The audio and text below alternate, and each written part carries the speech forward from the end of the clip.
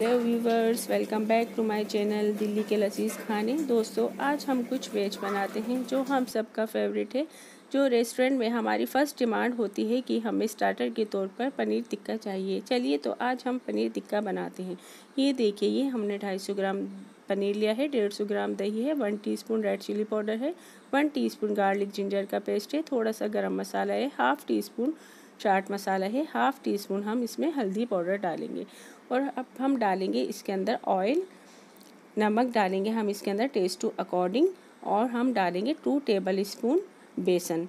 पनीर के हमने क्यूब्स काट कर बाउल में रख लिए हैं। ये देखिए, ये हमने पनीर के क्यूब्स काटे हैं। इस तरह आपको कट करने हैं। थोड़े मोटे मोटे पनीर के पीस लेने हैं, वरना ये टूट जाएँगे। और ये हमने सारे वेजिटेबल्स इसमें डाल दी हैं। कैप्सिकम, अनियन, टमाटो की क्यूब्स की तरह हमने इसको कट कर कर डाले हैं। और ये हम डालेंगे वन टीस्पून गार्लिक जिंजर का पेस्ट।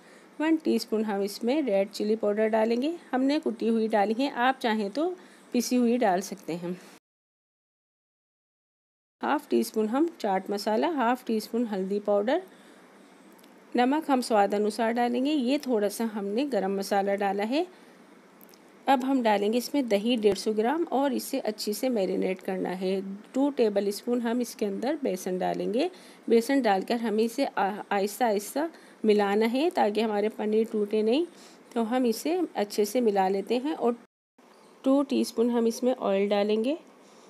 ऑयल डालकर हम इसे अच्छी तरह मिला लेंगे हाथों से। इसे मैरिनेट के लिए रखेंगे एक घंटे के लिए रेफ्रिजरेटर में।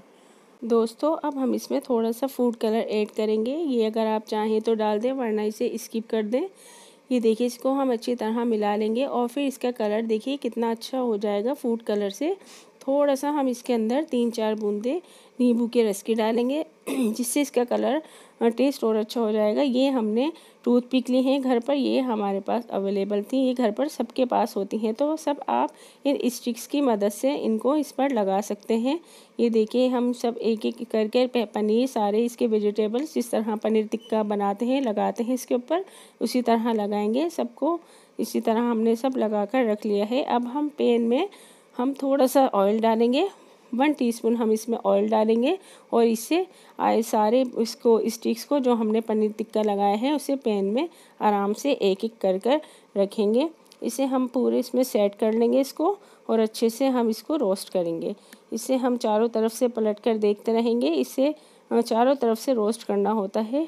इसे हम सेक लेंगे बहुत अच्छी तरह। ये देखिए, ये हम इसे पलट लेते हैं और ये देखिए, ये सारा पनीर टिक्का हमारा बिल्कुल परफेक्ट तैयार हुआ है। देखने में भी बिल्कुल रेस्टोरेंट वाला कलर आया है जो हमें चाहिए था।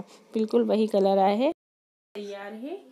दोस्तों, अगर आपको हमारी ये रेसिपी पसंद आई है तो प्लीज़ शेयर कीजिए सब्सक्राइब कीजिए और हमें ज़रूर बताइए कि ये रेसिपी आपको कैसी लगी। नेक्स्ट वीडियो में आपसे फिर मुलाकात होगी एक नई रेसिपी के साथ। Thank you very much